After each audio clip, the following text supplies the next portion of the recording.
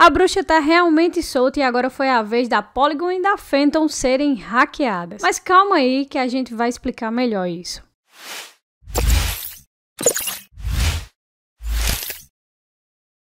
Olá pessoal, meu nome é Ilana, sejam bem-vindos ao canal Dinheiro Cripto.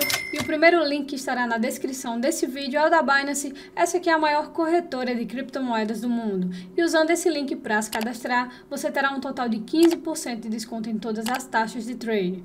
Vamos ao vídeo.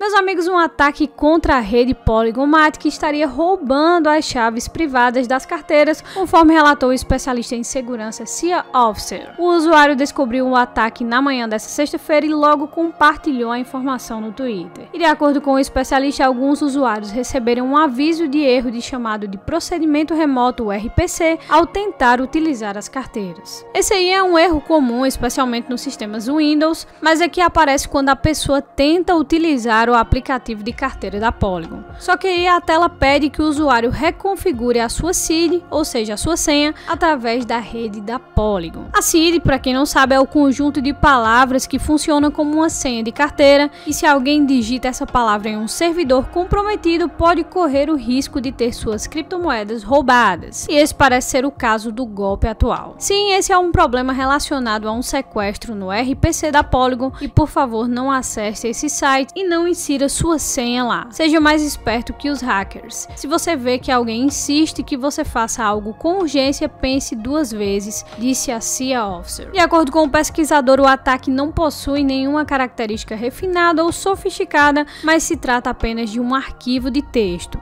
O que os hackers fizeram foi sequestrar o servidor RPC e reconfigurá-lo para, ao invés das carteiras, mostrar esses arquivos, ou seja, mostrar as suas palavras-chave. A falha não compromete dados nem rouba criptomoedas, exceto se o usuário digitar a senha no arquivo. E nesse caso, os hackers terão acesso ao texto e poderão ver as chaves privadas e logo poderão acessar as carteiras e roubar os fundos. Outra questão é que o hacker pode conseguir informações que o ajudem a conectar as suas contas e dessa forma ele pode saber se o usuário tem outros endereços e então pedir que ele digite a senha das demais carteiras. Além da Polygon, a rede Phantom estaria enfrentando a mesma situação com problemas em um dos servidores RPC. Nos dois casos, a C-Office pediu que os usuários não usem os servidores comprometidos e procurem alternativas mais seguras. E bom, pessoal, o que fazer? Bom, não vamos fazer nada, não vamos fazer transações, não vamos trocar endereço de RPC, não vamos fazer nada até que a situação seja estabilizada. O hacker só terá acesso aos fundos caso você coloque alguma senha ou tente fazer algo. O que ele hackeou foi apenas um servidor DNS, um domínio, o domínio do ANKR. Então, em suma, por via das dúvidas, jamais digite as palavras-chave de sua carteira em nenhum site ou aplicativo que não seja oficial da criptomoeda, senão você corre o risco de dar a terceiros o controle da sua carteira e logo a posse dos seus fundos. Ao invés disso, você pode apertar aí e deixar o seu like nesse vídeo que não paga nada e é super seguro. Pelo menos ainda nesse momento, né? Muito obrigada por terem assistido e até mais.